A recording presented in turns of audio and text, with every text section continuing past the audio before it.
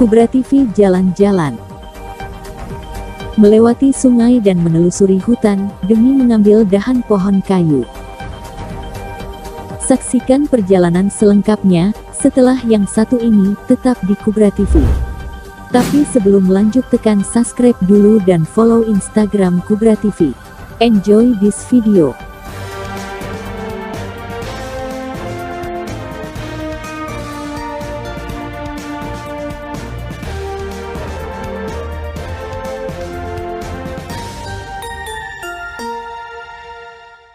Bila ada saudara-saudara yang ada kelebihan rezeki yang mau menyumbangkan daripada barang-barang kami siap pula untuk menyalurkan ataupun langsung ke tempat uh, posko kami iaitu di Pangkas Rambut Jack. Uh, di situlah posko Cobra TV berada.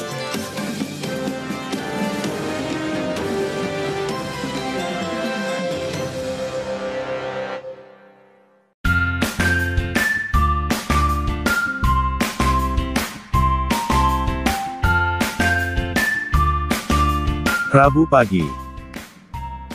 Kami memulai perjalanan menuju ke tempat pengambilan anak pohon kayu. Kurang lebih dua jam berada di sampan. Akhirnya kami sampai ke tempat tujuan.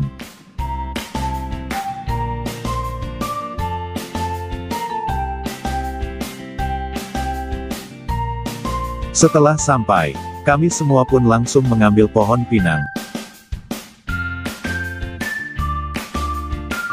Eh, malah makan.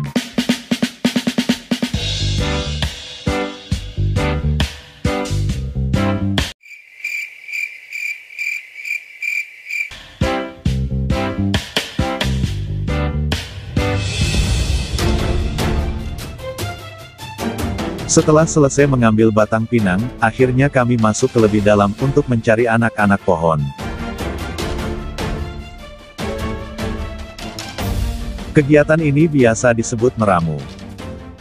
Dengan cara gotong royong mencari dahan-dahan kecil untuk membuat pentas pelaminan. Pada acara pernikahan, hataman Al-Quran, dan lainnya. Walaupun di hutan banyak nyamuk, serangga kecil, maupun tanah yang berlumpur, namun hal ini sudah biasa dihadapi untuk mencari dahan-dahan kecil di hutan.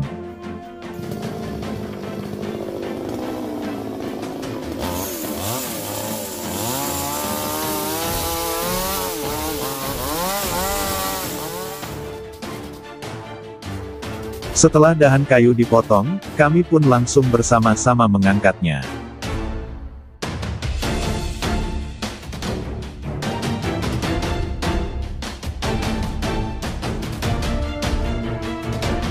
Saatnya istirahat.